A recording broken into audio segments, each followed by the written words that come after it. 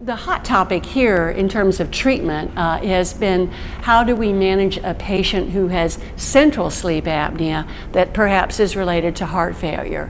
We, uh, we now have had two fairly well done large trials that have indicated that uh, sophisticated positive pressure approaches, uh, bilevel pressure and ASV for central sleep apnea and heart failure are, are probably not uh, the way to go, at least not for certain kinds of patients. So I think um, one of the things that we're going to have to grapple with is when do you treat central sleep apnea? Maybe we, it's better off to leave it alone. But if you do treat it, how is the best way to treat that? And I, and I personally don't know the answer to that question, and that is a space that I will watch closely. I think that for us, and this is important for what CHEST does, sort of feeling, uh, filling the workforce gap and practitioners who can manage garden variety obstructive sleep apnea, which probably affects one in 10 of us, is a huge challenge. Uh, and I hope that CHEST could be part of the solution to that challenge.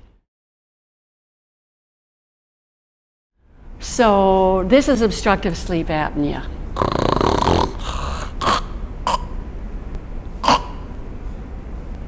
10 seconds.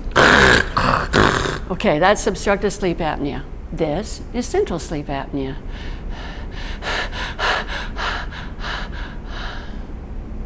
Ten seconds. So the difference is there is the patient who is obstructed is trying to breathe, but the airway is closed and the air can't get down. The person with central has some disconnect between the signal to breathe and the pump that makes it happen. And obstructive sleep apnea has very different causes and treatments. And central sleep apnea, I'm not sure what the treatment is. Uh, central sleep apnea tends to be seen in patients with heart failure that's fairly advanced. It tends to be seen in patients who are taking drugs that suppress the drive to breathe, like opioids or benzodiazepines, and the numbers of those people are actually increasing. And we also see it uh, in people with an acute stroke. So uh, the, probably the number of people in that category is uh, smaller than obstructive sleep apnea. The risk factors for obstructive sleep apnea are age, actually, particularly in women. The prevalence of obstructive sleep apnea goes up with age.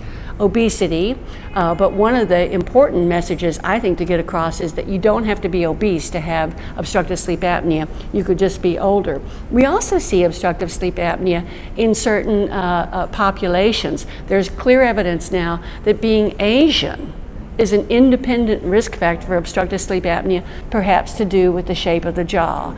And clearly now, we've learned that obstructive sleep apnea runs in families. There are some genetics. Some of even the work we've done at my place, the University of Kentucky, is, uh, is adding to the body of evidence that indicates that uh, sleep apnea runs in families, perhaps uh, by a gene that codes for a short jaw or small posterior airspace. So, uh, so the, the causes of central obstructive apnea are very different. There's no question for obstructive sleep apnea, the treatment of choice is you know, to lose weight if you can, quit smoking if you can, no matter what's wrong with you, and then CPAP, that's a treatment of choice for obstructive sleep apnea.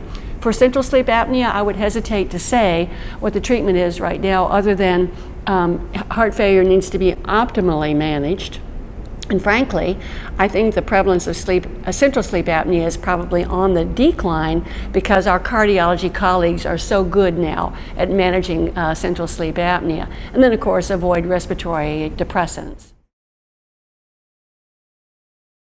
Uh, we try to say to them, uh, so uh, the approach to this is not straightforward, but we'll be here with you. We'll go through this with you. Uh, but the first thing to do is to try to figure out why they have it, because the message might be, you have central sleep apnea, it's due to your heart failure. I am going to give you a diuretic to help you. I'm going to send you to the cardiologist to help you. Um, but the message might be, you have central sleep apnea and we need to cut down on the Lortab. I'm not sure there is a shortage of sleep doctors. There's a shortage of people who can manage sleep apnea. And I don't believe that you need to be a sleep doctor to manage sleep apnea. The prevalence of sleep apnea is higher than the prevalence of asthma.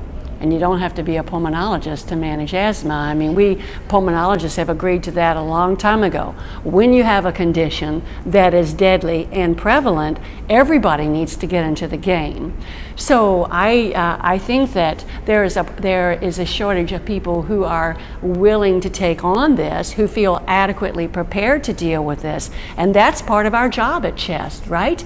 So uh, ask me again in five years. Uh, but I, I think there are, plenty, there, there are more than enough pulmonologists who know enough about this, about breathing, that's what we do, to take care of this right now. We've just got to get them to do it.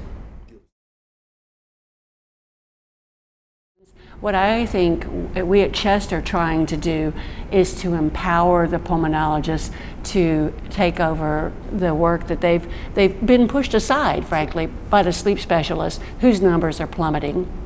And as the number of sleep specialists dwindles for all kinds of reasons, pulmonologists need to step up. We at CHEST recognize that. We at CHEST want to empower and educate pulmonologists to take over the sleep and breathing part. And this comes back to something we talked about early on because you're a pulmonologist, you shouldn't be expected to manage a neurological disorder, which is what narcolepsy is, or perhaps a behavioral or, or mood disorder, which much of insomnia is. But you darn well need to know about a breathing disorder, which is what sleep apnea is. And pulmonologists, and I do hope you quote me on this, need to take sleep apnea back.